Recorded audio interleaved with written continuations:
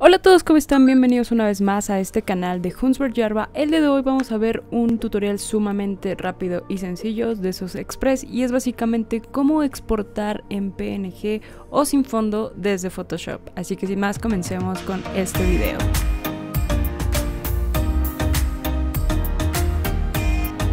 Obviamente si ustedes son personas que han utilizado Photoshop, pues esto ya lo saben, pero hay muchas personas que están comenzando a utilizar estos programas y que podría ser una pregunta muy frecuente, ¿cómo guardar mis fotos en PNG o imágenes sin fondo, sin este fondo blanco?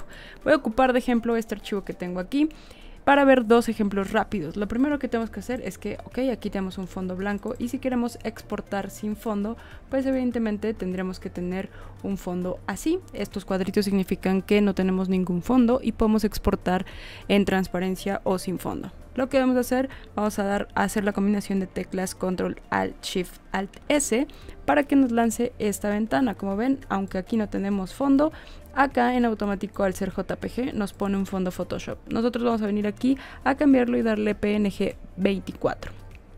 Como ven, tenemos ya nuestra imagen sin ningún tipo de fondo. Ahí está completa.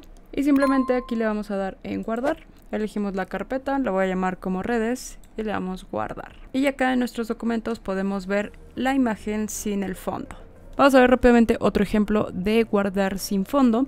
Imaginemos que queremos guardar estas capas que tenemos aquí, solo estas, no todo el texto. Vamos a ver un segundo ejemplo muy rápido de cómo exportar rápidamente sin fondo. Imaginemos que queremos exportar este elemento solito y para no mandarlo a otro documento o hacer el documento más chico aquí y mandarlo a exportar, queremos que también sea así, tal cual, solito.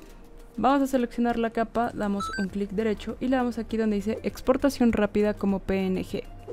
En automático nos abre esto, seleccionamos la carpeta y le damos en guardar. Y por aquí vamos a tener el archivo que acabamos de guardar. Y así nos ahorramos mucho tiempo y trabajo. Así que bueno, eso sería todo por este video, espero que les haya servido, que les haya gustado. Cualquier duda, comentario o sugerencia ya saben en la parte de comentarios.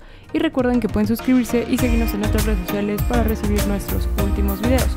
De nuestra parte sería todo y nos vemos en el próximo video. Un saludo que estén de lo mejor. Bye.